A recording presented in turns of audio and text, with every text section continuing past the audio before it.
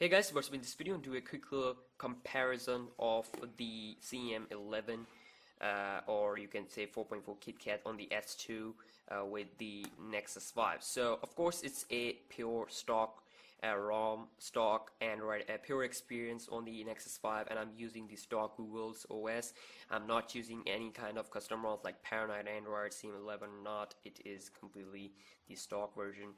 So but I'm rooted at the moment so I'm going to just show you here that the Galaxy S2 so what what are the uh, you know similarities between these two softwares? So um, also we have first thing that they have changed here that this is this launch is completely based on the launcher on the Nexus 5 so as you can see we have here KitKat experience full KitKat experience that we get on the Nexus 5 and also you can call a, a, a device with the KitKat here like the S2 uh, like it's running a Nexus 5 software. It is because you know it's completely completely based on the Nexus 5 and if you ask me about the icons as you can see they are pretty pretty uh, similar to each other. As you can see camera here on both devices the icons are completely the same.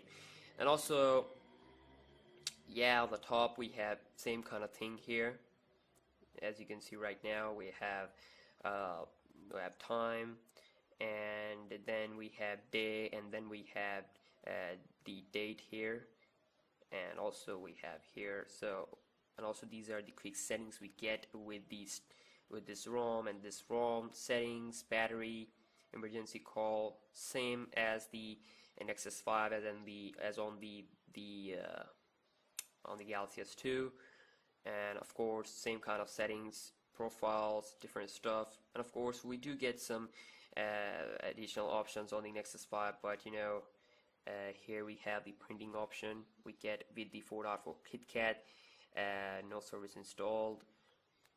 So yeah if we compare the KitKat for the S2 to the Nexus 5 yeah, you can say that we have the Nexus 5 software on the S2 because it is completely, completely similar to what we have on the Nexus 5.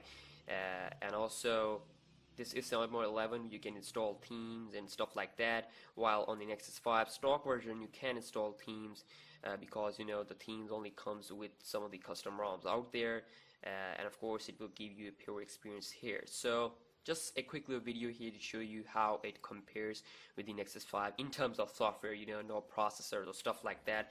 This device can easily beat this device.